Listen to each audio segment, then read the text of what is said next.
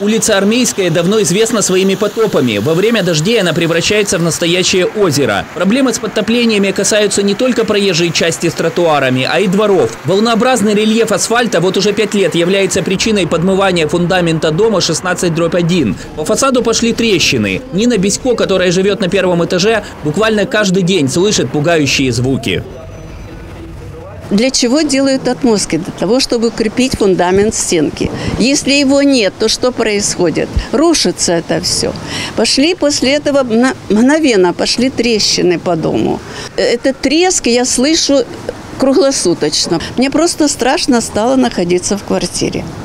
Женщина своими силами залила бетоном вымоенный под окном и балконом, однако покрытие продолжает проседать. Многолетняя переписка с чиновниками Одесской мэрии не дала никакого результата. В управлении дорожного хозяйства Нине Ивановне дважды ответили, что денег на решение ее проблемы нет. И с рушащейся на глазах стеной ничего сделать не могут.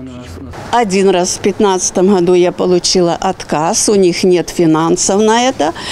Я позвонила вторично туда. Через год я получила снова отказ, тоже из-за по тем же причинам. Отказ из-за отсутствия финансов.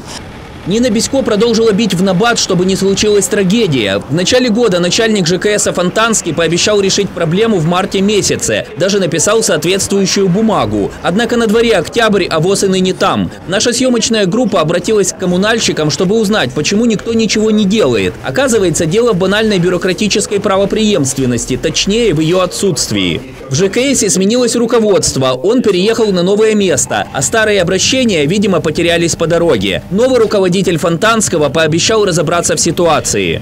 К сожалению, я не могу сегодня сказать, что было в январе и в марте, так как я приступил к данной должности с 8 мая, как бы эта бумага, я не знаком с этой бумагой.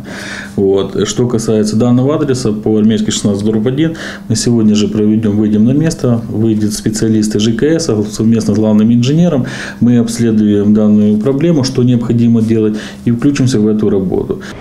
Наши корреспонденты будут следить за действиями коммунальщиков и информировать общественность. Константин Гречан и Владимир Ивжич, телеканал «Репортер».